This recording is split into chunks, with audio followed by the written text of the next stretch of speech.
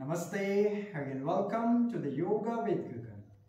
I'm Gagan and today we are going to learn a bridge pose and also called the Setu Bandhasana. So guys, this is a backward bending pose and the benefits of the Setu Bandhasana. This pose is great for improve the strengthening of your thighs, improve the strength of your hips, your buttocks and stimulate your digestive system, stimulate your thyroid gland and it's also great pose for stretch your chest, your spine, hips flexor, thighs and also your neck area. Or the most important, this pose is great for reduce the stress or anxiety. So guys, if you see this pose in anatomically, so when you perform this asana, so there are lots of area are affected by this pose. Our chest area, neck, throat, our lungs, heart, abdominal, sternum, bladder, liver, and also its impact to our pelvis part or abs and also abdominal. So guys, there are lots of benefits of this posture and the contraindication caution of the Setu Bandhasan. So always keep one thing in your mind.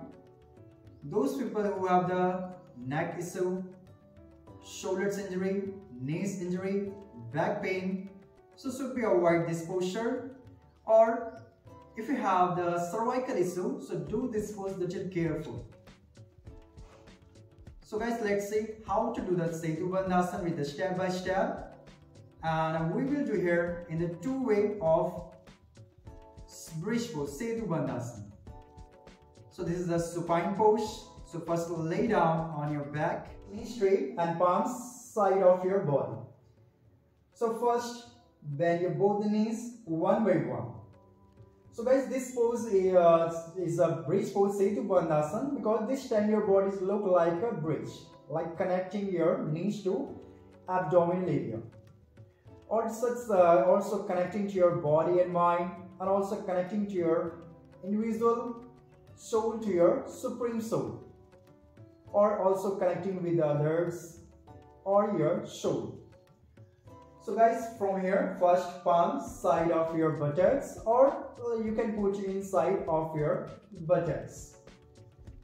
So guys, always uh, remember here one thing. Whenever you do the bridge pose, so most of the people, what they do, they uh, hold the ankles and they try to bring the heels too much close to the buttocks. So guys, what happened? As I lift my chest or abdomen up, so you can see my knees will be go forward. And my pose is not in the correct position. So it is not the right way to go on. So always make sure here, uh, little gap between your heels or your buttocks. So uh, your knees to heels in a line. So always make sure your knees to heels in one line. And make sure don't move your knees ladder too much out or not too much inside. So always your feet distance according to your hips and your palms side of your body. And also here one more important point. When you're lifting your chest or spine up, so try to make using your squeezing your glutes muscles. So if you perform this asana with squeezing your glutes muscles or you're using your core, so your core and chest will be active and those people who have the weak back pain, who, who have the weak back. So what happened when they lift their chest or spine up? So they feel strain, uh, lots of strain on the lower back. So always make sure when you're lifting your chest or body up, so try to with the squeezing your glutes muscles. So let's start. First palm side of your buttocks. Then from your palms facing down. Then inhale slowly pressing your palms, your feet, and at the same time lift your chest and upper back, middle back, buttocks up. And then roll the shoulders back, keep your neck in center position, don't move your neck left or right. Always should be neck center and look up. and try to engaging your core muscles, squeezing your glutes muscles and feel the stretch on your quadriceps and also this best pose for stretch your hips flexor, your pelvis. And first hold here around 7 to 10 breath.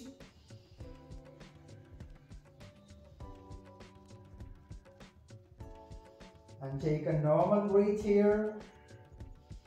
Then after once you complete it, then exhale, slowly come back. In the same way, first release your upper back, middle back, lower back and buttocks on the ground. So guys, we will do here one more time and this time we will stretch the whole body parts. So again, palm side of your buttocks, then take a breath in, pressing your feet, roll your shoulder back and then slowly lift your chest or spine up.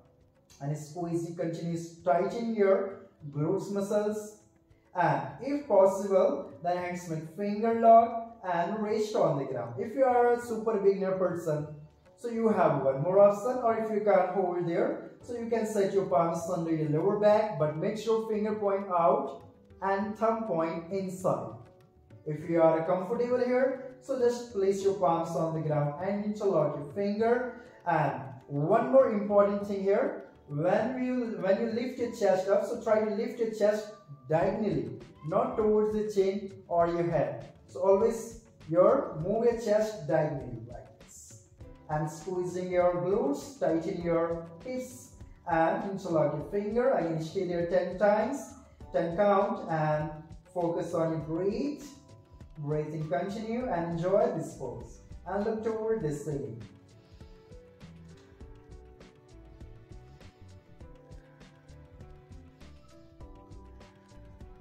Then guys, when you complete it, then exhale, open your hands. First place your palms on the ground. Then same way, release your upper back, spine, buttocks on the ground. Then from here, slowly come back. Turn your body towards the left. Pressing your palms onto your mat, come to the seated posture. So guys, if you do this pose in a gentle way or the regular way, so this pose will help you to improve the flexibility, improve the strength of your body. And also those people who have the asthma problem because it's increasing to your our lungs capacity. So it's also great pose for those people who have the asthma problem.